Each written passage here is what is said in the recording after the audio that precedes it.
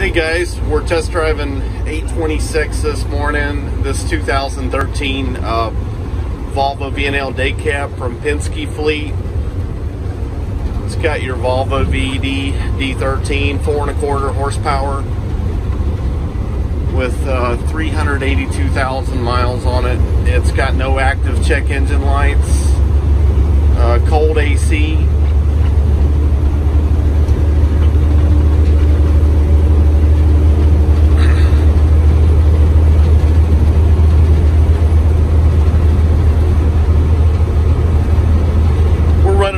about 70 mile an hour here. Truck feels real good. Front end is real nice and tight.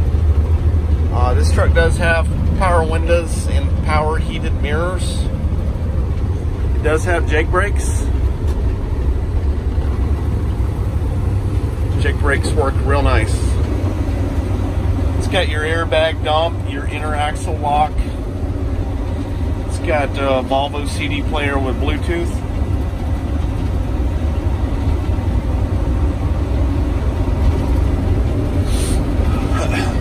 Truck has been uh, regularly serviced.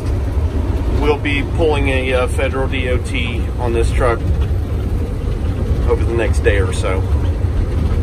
Looks like looks like it failed because of two ID lights, and uh, we've got those on order, so we'll get that up to par today.